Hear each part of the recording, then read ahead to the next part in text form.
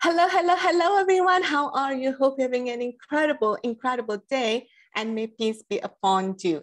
Thank you, thank you, thank you for joining me, your host, Dr. Izdihar Jamil. And today I have a special guest, a good friend of mine. We had a couple of rifts before because he was being a little bit naughty.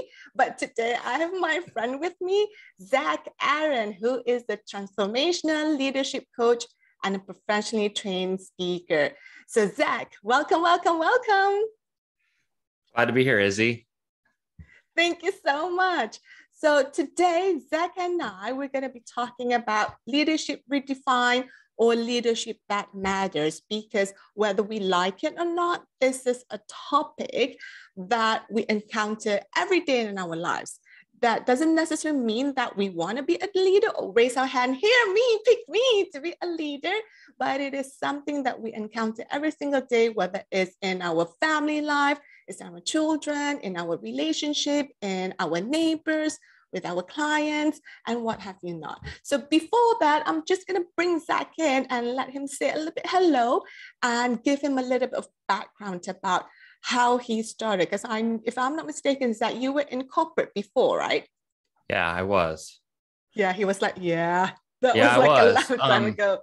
Well, the topic being leadership that matters, I I do have a story I about that corporate experience that I, I'd love to share a little bit on because yeah, absolutely. Go you ahead. know 22 I was 22 years old and was interviewing for my first job, my first real job out of college, right?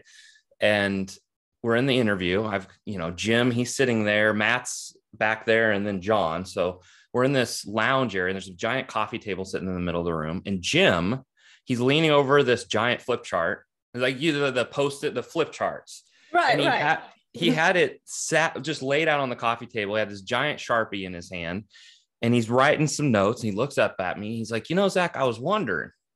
He, I've never been asked this question before. He's like, you know, I was wondering if you could have anything written on your tombstone, what would it be? You know, he had this southern accent. He was from Tennessee, and I was like, Whew. and I looked at him. I said, you know, I, I want to be a respected leader. Mm, I want to be somebody that um, my team can trust and know that I'm always going to work towards developing them and helping them reach their their fullest potential. And that that just came from the heart. I didn't have that prepared in a college career class, you know. And that's when it all started. Now 11 years goes by. I'm now vice president of sales, married. Um, my wife and Mm. I, three daughters, Claire, Sophie, and Thea. And Thea, who's now four, was just born back then. mm. And I was on my way to the country club to have a drink with my CEO, Chad. And, and I go in and I see Chad sitting in the corner and we're, we're not even through our first drink. And he says, Zach, I'm, I got to make some changes to the, the company and change the leadership team. Mm. And I go home that night, I tell my wife, like, I'm not on the leadership team anymore. I got demoted. I don't want to do a Mm. sales role. I, I know I could, but Yeah. so uh, several months go by and I get my review from the guy who replaces me, uh, Michael, and he tells me, he's like, Zach, you're you're a good soldier, but Mhm. that's not leadership. When I heard that, it rocked my world because all I ever wanted to do was be a great leader. I mean, if you would have known all the leadership books I read, all the yeah. seminars and podcasts, like I was, I was immersed in that world, how to be a leader, right? Mhm. And he was right though. And it was later confirmed. I called my best friend Ben. You know, I was um, worked alongside Ben for 11 years. And I told him what Michael told me, and Ben told me the phone got really quiet. And he said, Zach, you know, I gotta Mhm. tell you, man. He said, I don't know. It was like you were trying so hard, like you're forcing things. It was kind of awkward. I just Mhm. remember that word. It was kind of awkward. So Mm. okay, okay. And he said, he's like, you know, if you would just stop trying to prove yourself and trust in who you are, you you have no idea the impact you've had on me in my life. I wouldn't be here if it was wasn't for you. I wouldn't be achieving my potential here if it Mhm. wasn't for how you showed up for me all these years. And that's when it hit me. Leadership starts from within. Mhm. And that was the first time I realized like all along I was trying to be a better leader and trying to be a leader and follow all the, you know, the eight laws to this and the seven, 22 Yeah. steps to that. And I realized that all along leadership was within me and it was a matter of just trusting it. And that's kind of how I've come to be a coach now. And I help other leaders tap into that and make leadership a self, uh, uh, instead of trying to prove yourself, leadership mm-hmm. is about self expression. Mm-hmm. and self-expression of your values and what matters to you and, and creating that into whatever you're doing whether it's in business and life in a family mm-hmm. you create that through that expression that is like and um, like a different point of view that I haven't heard before that leadership is within you. And often than not, you know, when you're in school or in your workplace, you've asked to prove yourself, right? That you can deliver, that you can do this. And it's always more and more and more and more and more. Like how much more? Like it goes mm. like to infinity. Now, yeah. talk about what is what do you mean by this leadership that within and how can you trust it? How can you trust it when, I'll give you an example, when I was in college, you know, we have group projects, right? So a lot of the time, you know, obviously people call me bossy, people call me demanding, too organized, and it kind of knocked me down. But what I care about is being being the best or being like you know ex- excelling at school and having that. And the funny part is that when it comes to project, when all those people are saying those things about me, when it comes to choosing the team, guess whose team they want to be in? Mine.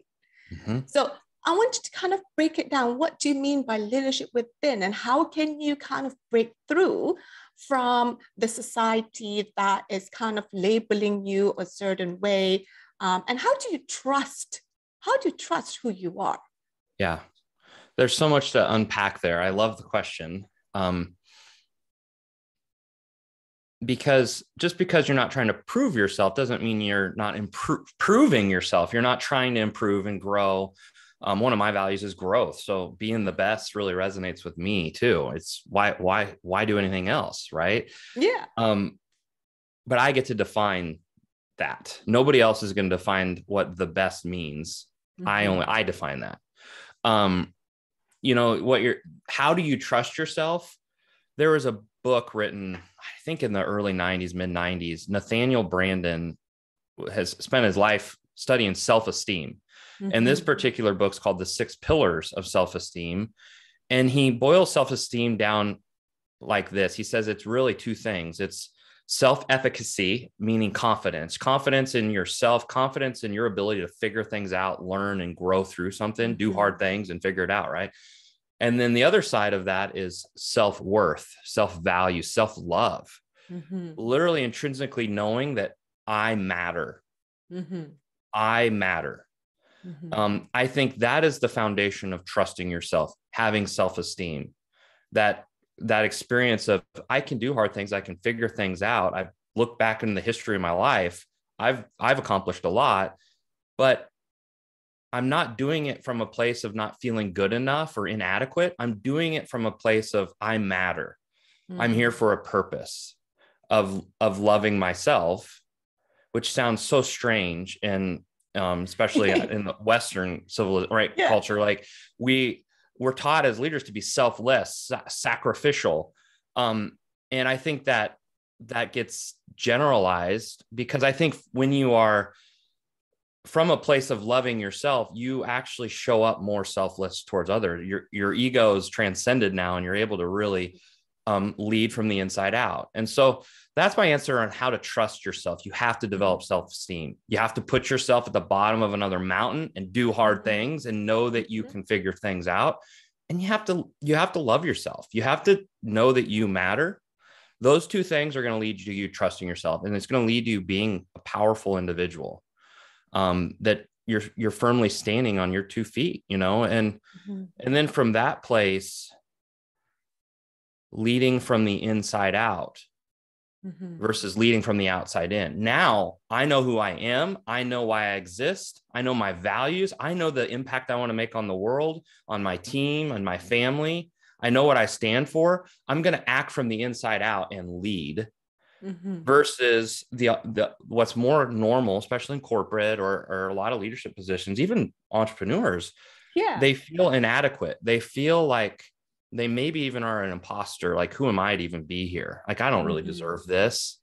Mm-hmm. Um, and so we start to lead from the outside in just continuing to try to live up to everybody else's expectations make sure everybody else is happy and in the end at some point maybe we don't say this out loud but we start wondering what about me mm. and resentment starts to set in and now we start to um, lose ourselves in the process so leading from the inside out is the only way to to be a leader that matters that makes a difference in my opinion Yes, and I like that tag phrase or declaration or intention that you matter, that I matter. It's kind of like a, a mantra. is kind of like bringing you in that I matter. And I remember for my TED talk, one of the things that the organizer did was that we had a uh, two sessions, and one of the sessions, the lead trainer said that the first thing I wanted to say is that I am here, and kind of like claiming your space, because otherwise you're like behind, invisible, you're hiding. You're not actually like matter yourself, putting yourself out there because you know when you're a TED speaker, it's hard to get in because of all the processes and everything. But then when you're in, you can't be hiding. You can't be like invisible. So you matter. And then you mentioned something about um, completing things like part of confidence is actually to figure things out and um, completing things. And I feel that is also part of the stages of building your confidence. I think one of the biggest reasons that we don't have confidence in ourselves because we say something and we don't complete it, or we say something and we abandon it. Now, I want you to kind of break down for me a little bit about this confidence. And some people like, oh, too, too much confidence, too ego. You're like, putting people off. So, but then there's there's a space where, like you, Zach, I mean, you have the confidence, but you're it's not something that you pushing into other. It's something that is within you that you feel that you walk the way you talk. So, kind of like break it down for me a little bit in terms of confidence. Like, I know confidence can sometimes be hard to find when there's too many noises in your head. So yeah. let's start with entrepreneurs. Like, how can they be a little bit more confident by leaning in to who they are inside? Yeah. The best thing I heard about confidence um, came from a high performance coach, uh, Michael Gervais. He, uh, mm-hmm. he uh, actually, if you've heard of Felix Baumgartner, who jumped from the the Red Bull stratosphere, he drove jumped from the Earth's atmosphere in in a free fall. Um, and he had to wear a spacesuit and all of this. And um, he was claustrophobic. He he couldn't jump. So this was a million dollar project and it was almost called off. And this was michael gervais came in as as this felix's coach to help him work through claustrophobia and mm-hmm. and get the confidence to make the jump. And i remember michael gervais saying this i think it was on a podcast he said that confidence is simply what you say to yourself. Mm-hmm. Now, what I'm not saying is some hokey pokey like affirmation, you know, where, you know, it's, it has to be a true. You have to mm-hmm. know that it's true. Like it's what you tell yourself, but it has to be based in fact. Mm-hmm. And, and so to find your confidence, what, what have you overcome in your life? Mm what what have you gone through and come out the other side victorious and if you just tell yourself that story and remind yourself who you are how do you how do you think you're going to feel in that moment mm. confident you're going to be like you know what I, I can do this too. I did that. I can do this. Game on. You know, so that's a little bit of um, some simple things I've I've learned about around confidence that I teach my clients. Is it is what you tell yourself because the story you're telling yourself, right? We all have this inner dialogue going on. Mm-hmm. And the stories either that you're telling yourselves are either going to create more what you don't want or more of what you do want. So the question I was asked is like, is the story you're telling yourself going to take you to where you want to go? Is it leading you to feeling confidence? If not, change the story because I know if you've been on this planet for, you know, as long as most of us have listening to this, you have some stories that you can can own some confidence around. Like you, you, you've overcome some things in your life. I know you have, Izzy. Um, I know I have. I know we all have. I don't think there's a human being on this planet that hasn't done hard things and had to to find their confidence at some point in their life. I think that's like a like a spot on hack about confidence there to be truthful about what you tell yourself, especially on the things that you have overcome or the things that you have achieved and kind of starting from there because rather than you uh, what do you call it like you know when you say something but you don't feel it right? You say something you affirm whatever da da da da but you don't feel it it's in it's out of alignment it's kind of like a conflict. So what you're saying here is that like you tell something about yourself that is truthful that is honest that you've overcome even though it's something as simple like for me or for any moms, oh my God, it's such a big deal to get the kids out the door for school. It's such a big deal. The amount of thing, the thousand million steps that have to happen. I'm like, oh my God, I'm a champion. Like I get the kids on school early, such a huge um, thing. So give us an example, Zach, of one thing that you tell about yourself that is truthful that you have overcome so that people can get a feel about you. Yeah, well, it's it's put in the work and trust the process. Nothing ha- nothing great happens overnight. So there there's this an event in my life. So growing up, I was probably 16 years old. I decided I want to ride saddle broncs in the rodeo. Mm-hmm. um, and my mom, Lisa, gets um, Bruce Sturdy to train me to ride these broncs. And I get on the back and I hit the ground. I hit the ground 20 times that first Saturday. I hit the ground. I'm back at it 20 more times. I hit the ground. Two years of working with Bruce. And I remember him telling me in this process, Zach, ain't going to happen overnight, brother. You're going to have to trust the process and put mm. in the mm. work. Well, two years go by. I've broke my hand, ankle, collarbone. and I still haven't made it to the eight second buzzer. So in a rodeo, right? You that's the goal. You, to even get a point, to get a score, to even qualify to to place in the round, you have to stay on for eight seconds. Well, I hadn't done that for two years. Right. Hitting the ground is all I knew. And now I'm at a rodeo and and I remember this day like it just slow motion. I got on the back of that horse, I in my head, gate flies open. Every jump, I'm just I'm in perfect timing. The buzzer goes off and I'm still on the back of the horse and and you know and and then I, I look over in the stands and there's my mom and she's just on her feet going absolutely berserk um, like any mom would. And I go on to become two time state champion. Hmm. And that's a story that I've learned to tell myself. Now I'm, I just kind of think of it. I'm like, you, you, you know, I know I'm speaking to myself. You know how to stick to something. You know how to trust the process. You know how to put in the work. You can do this. And mm-hmm it's absolutely true. I'm not making any of that story up. So it resonates with me. It's like, yeah. Mm-hmm.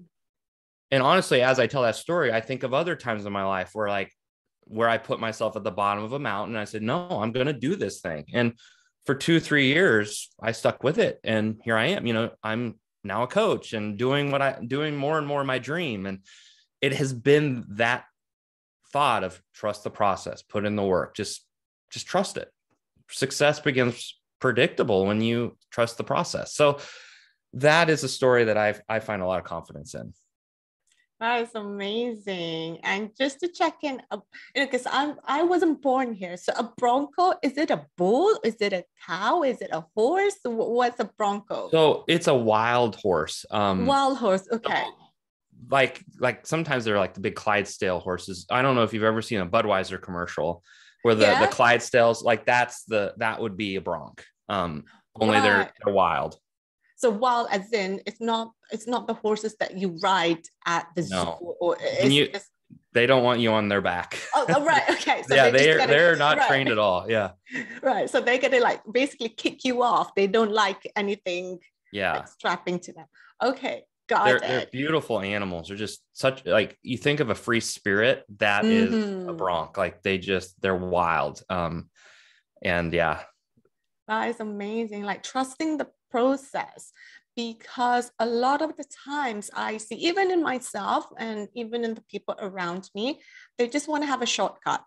You know, they just want to fast track to where they want to have, um, you know, people leaving the job and suddenly the next day they want to make six figure kind of thing, but they haven't built trust in the process or haven't built the fundamentals.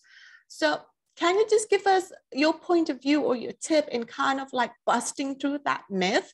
Because it does take some investment in terms of time, money, energy, what have you not, to trusting in the process and building in the fundamentals. And most importantly, to keep on going. Because you were like two years on, you were then 18 then, right? You still haven't lasted through that eight minute buzzer, which is yeah. in order for you to have points, you got to be past the eight minutes buzzer or hit the eight minutes buzzer.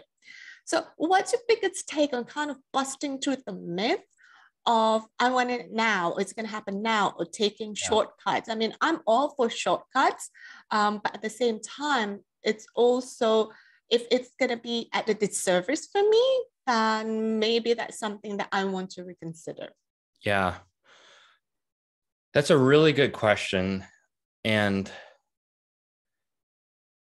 I, you know, I was talking to a client just yesterday about this. Um, she has a big goal and she's trying to build this online business. And I asked her the question, how will you feel after you achieve the goal? You know, what mm-hmm. will it mm-hmm. feel like to have built this online retail business that's bringing in thousands of custom orders every day and all this? And she said, well, I would, I would, it would feel just like I would be experiencing inner peace. She said, she said, I would have more presence and I feel more confident and I would feel more um, open and mm. fulfilled. Those are the words I often hear from clients. Feel like I'm making an impact. And what's interesting is so often we we put X in front of Y. We put so much in front of those feelings that we ultimately want. I've got to get the goal accomplished. I've got to stay on the back of that horse for eight seconds right. and and win for me to feel good about myself. Mm-hmm. That's a that's a broken strategy because mm-hmm. it's actually backwards. It's when you actually can begin with inner peace, begin with impact and fulfillment and happiness. That is going to create the conditions for you to actually create the results you want. So, how do we go about experiencing those feelings and emotions right now, today?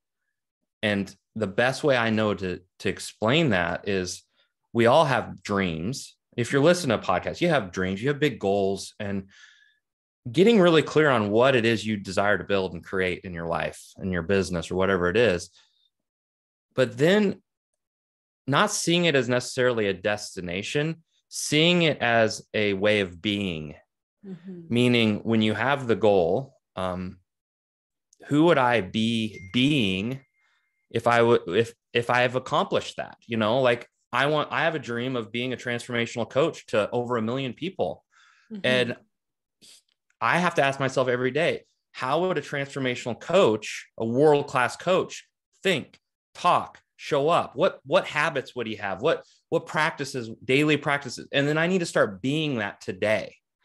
And that when you when you start being that, you kind of fall in love with the journey.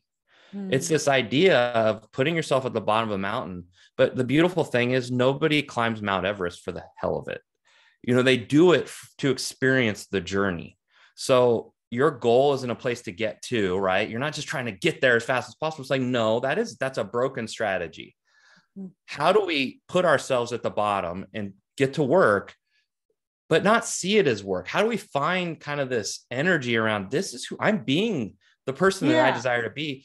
And then all of a sudden all the success and all the outcomes and the goals they just kind of they follow. They're just they just happen um, you start to attract your dreams that your dreams start to chase you instead of you always chasing and running after the next thing which is just exhausting. Absolutely. And the, the chasing part right? Like going after it going after it going down rather, rather than saying is you know be who you're meant to be now. The happiness yeah. the joy the love the the creativity the freedom who it is from you now.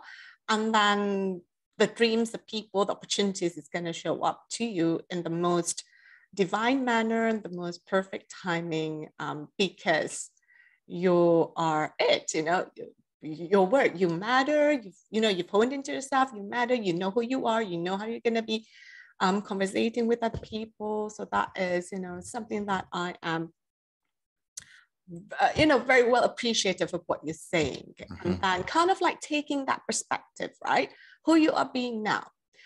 How can we take that a little bit of expansion now? How can we take that into other areas of life?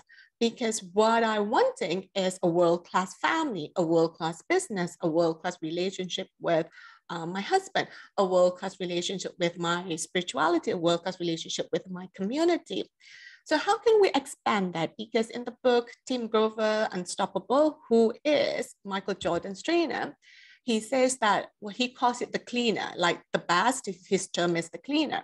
So, in order for it to be the cleaner, is either that or, you know, one thing is up and one thing is down. So, if you in the best at uh, Michael Jordan was a, uh, not football, what oh, basketball, basketball player.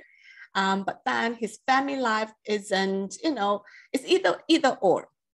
Now I want to have all those relationships working for me. Yes, it's a juggle. Some of it is out of balance, but those are important to me. So let's talk about a little bit about expansion before we wrap up, Zach. So yeah. what are your tips? You have like a leadership expansion that you see because you're a dad, you're a husband, you're into your community, you're an entrepreneur, you're a coach, you're a speaker. So how can we have that expansion of leadership based on who we are and leading within?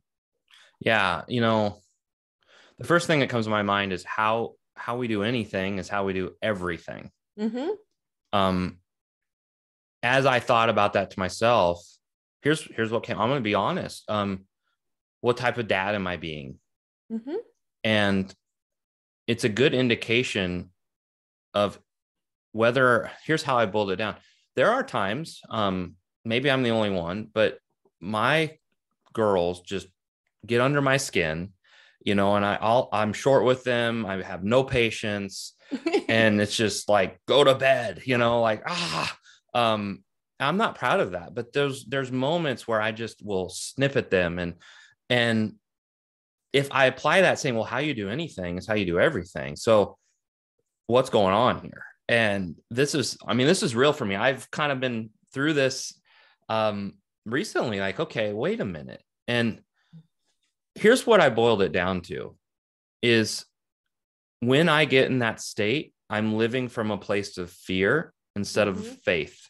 Mm-hmm. Faith being an inner knowing, an inner trust, inner mm-hmm. peace, mm-hmm. just knowing that things will happen when they're going to happen. I'm here for a reason and my life is my life matters, right? And I I can just trust that. That's what I mean by faith. I don't necessarily mean a religious faith. I mean kind of just an inner spiritual knowing. And when I'm in fear, it shows up very subtly though. I'm telling myself a story around I don't have enough people signing up for my next workshop, or I, yeah, I, I, things aren't going as fast as I want them to, and did it, and you kind of get all tangled up in the fear and like see this thing's the sh- the other shoe's about to drop, and we get into this fear, worry, self doubt, and then the kids come home and we're like, quiet, you know, just just quiet, but it it has nothing to do with them, and so it, it's so I'm not sure I'm answering your question, um, but this idea of expansion and letting yourself just be present mm-hmm. the only way to do that is come from everything with a place of from a place of love impact mm-hmm. um, and faith it, for me this is how mm-hmm. i've landed on it like and whenever i feel that i call it dissonance. You know there's resonance. You kind of talked yes. about that alignment where just things kind of just are happening for you. Things almost feel effortless. Then there's yeah. other times where it just feels like this uphill grind and and oftentimes there's resonance when things are going well. There's dissonance when you're you're wrestling with something. And that's a good time to pause and being like asking yourself a couple questions. What do i need maybe that i'm not getting right now? Mm-hmm. Or what do i need to start saying no to? Because it's not working for me. Mm-hmm. um oftentimes you're telling yourself a story of something you should be doing ought to be doing um, you're shooting on yourself instead of actually just trusting more that intuitive place of what's going to serve you now. Um, that's that's what really works for me. Now the other side of that is still work it's still discipline there's still you know you still got to do stuff that's uncomfortable like it's not all kumbaya but there's a fine line there's a fine line between it working for you and it not working for you and you actually getting diminishing returns So yeah, I think that's spot on. Like you talking about, hang on a minute and taking a pause, right? When you feel yeah. this um, uh, contradiction or something like out of alignment or out of resonance, um, you take a pause, take a breather. Um, and kind of like let yourself settle in or uh, the word that you use finding the, the the trust and the inner peace when you when you mentioned about the inner peace i just remember you know kung fu panda 2 you know, where Po is like, you know, he's fighting his body with pain. He had so much headache. He's fighting it, fighting, fighting it. But then when the goat tells him to just let it flow, let it flow, let everybody flow, and allow yourself to remember. And suddenly he was like busting through Dragon Balls, right? Like pushing through yeah. Dragon Balls, like the power of it. And I love that part about the pause. You know, let's take a pause. Let's take take a breather and I know sometimes when we're working really hard, kids come home and be like, oh my God, like you start to get like, ugh, with them. But actually taking a pause and communicate it with them because they don't know what's going on. All they want is your attention. They want to mm-hmm. hang out with you because they're your dad. You, I mean, you're you're the dad or I'm the moms. Mm-hmm. So Zach, let's wrap up with this kind of conversation of leadership that matters um, about trust, about faith, about leadership, uh, peace, about from within, taking out from you who within, leading from within who you are from the space of joy, love, and compassion. Let's wrap it up with this question What is one fun thing that you do that people don't know about? And you can't say coffee. What is one fun thing that you do that nobody knows about? Well, besides coffee, um, yes, besides thing. coffee. Fun is something I could use some help with. I don't. that's all, I, I, don't like that question. I, I, I love the question. I don't like that. I don't have a great answer for you. That's better said. Um, I love reading for fun. Mm-hmm. I like reading novels. I don't do it very often, but here's something recently. Last night, um, the girls, my little girls, just got done taking baths, and my middle one, Sophie, we just we just got a new trampoline and I just set it up and I looked at her and like, let's go out on the trampoline. And mm-hmm. we were jumping and doing somersaults for about 30 minutes before bed, which probably not the best decision, but we were out there in the backyard on the trampoline. So that was that might be my new fun thing um, is jumping on the trampoline. That is so cool with yeah. you doing flip flops or somersaults or backflip and I'm a little sore today. Yeah. But, yeah. And I'm banging your head to places, but then get back up again. That is so cool. And how, how big is a trampoline? Is it like the mini one or did you actually get the playground sized? The giant the, one. Yeah, yeah, yeah, it's, yeah. it's big. The, the, it takes up our whole backyard. it's pretty big. well, one thing for sure, once we get to your place, my kids goes, yeah, let's go to Zach's yeah. trampoline and jump jump on board, which is fantastic. Zach, thank you so much for the conversation today and for sharing with us leadership that matters, that can be impactful to others, and more importantly, starting from yourself and trusting who you are and the, the, the person within you to lead other people with kindness, compassion, joy, or whatever that your value is. So thank you so much, Zach, for hanging out with me. And can you let everybody know what is the best way for people to reach out to you? Yeah, so I have a podcast as well, the Create Purpose podcast. Um, if you go to my website www.createpurpose.net, um, you'll you'll find a link to the podcast, and um, you can follow me on Instagram at zach.arend. Okay, wonderful. Thank you so much. And for those of you who are listening, for those who would love to be, um, share your voices on prestigious platform, whether being a best-selling author, TV, magazines, media, Forbes, TED, uh, check out izdiharjamil.com. And Zach, again, once again, thank you so much for joining me. For those of you who are listening and watching, tell yourself, yes, I can. And so it is done. Zach, come and say goodbye. Bye-bye.